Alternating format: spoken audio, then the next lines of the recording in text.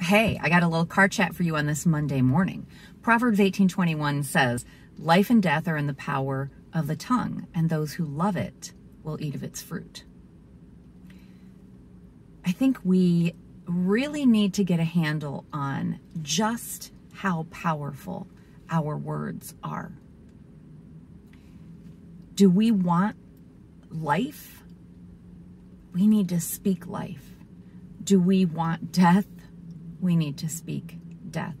And maybe you're sitting there thinking, oh, okay, so I'm just going to say, um, I wish you were dead and you're going to drop dead. No, it doesn't work that way. But let me put it to you this way try telling yourself every day for the rest of your life that you're a loser and you'll never amount to anything.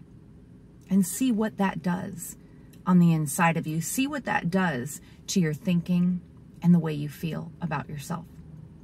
But try telling yourself that you're a new creation in Christ, that you can do all things through Christ who strengthens you, and see how that affects your thinking and the way you feel about yourself. No, our words may not kill or bring to life in an instant, but they do it over time, y'all.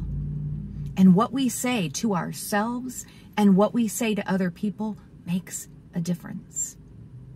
And so I want to challenge you today. Make a decision that for just for today, one day, you can do this one day. Choose to say only life giving words to yourself and to other people. Be very aware of anything that you want to say that is not life giving, anything you want to say that has the potential of death. Put those words aside and speak only life over yourself and others today. And see how you feel by the end of the day. And then maybe tomorrow when you get up, you'll want to try it again. And maybe the day after that, you'll want to try it again.